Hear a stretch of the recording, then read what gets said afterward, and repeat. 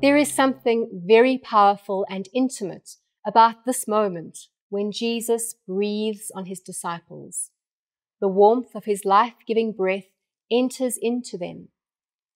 The gift of the Holy Spirit, which Jesus promised, enters into us too. And here they and we are being empowered as the new Christian community to minister to one another and to those seeking God. When Jesus was engaged in his public ministry of teaching and healing, Jesus often said to people, Your sins are forgiven. He was accused of blasphemy, as the religious teachers say that only God could forgive sins. And yet, here Jesus is showing that the power to forgive resides in the Christian community, and that God freely shares that power with us through the Holy Spirit. Forgiveness in the Christian community is not only offered within the church in a formal sacramental way, for example, through the sacrament of reconciliation.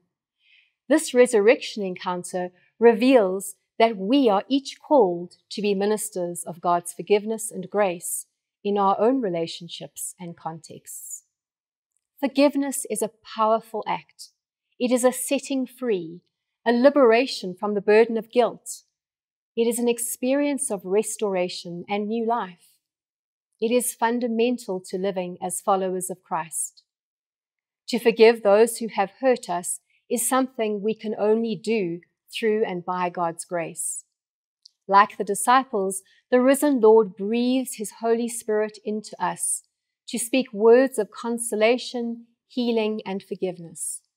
We open ourselves to receive the Spirit through prayer and through attentiveness to God's invitation. And then we are empowered to be channels of God's powerful grace in the lives of the people that we encounter. Let's consider today where am I called to be a minister of the forgiveness of the risen Christ? And where do I need to experience the healing grace of Christ and his forgiveness in and through the Christian community?